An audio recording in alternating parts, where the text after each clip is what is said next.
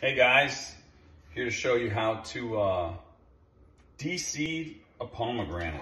Like did. Mm, mm, mm.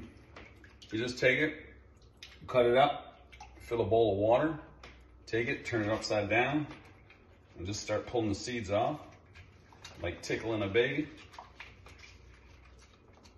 Like this, like this, like this, like this. No fuss, no muss, no mess, no nothing. That's half, that's the other half.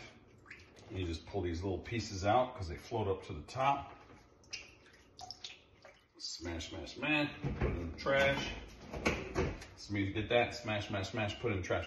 You take this, open it, put it face down, pull it open, it'll bust up in little pieces. You tickle it like a, like a baby's belly.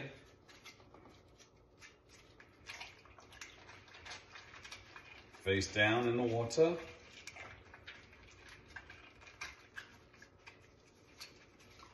Check it out, turn it over like that, like so. Like this, like this, like this, like that. Look at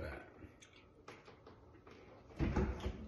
This is why you keep up with the Chaldeans, y'all.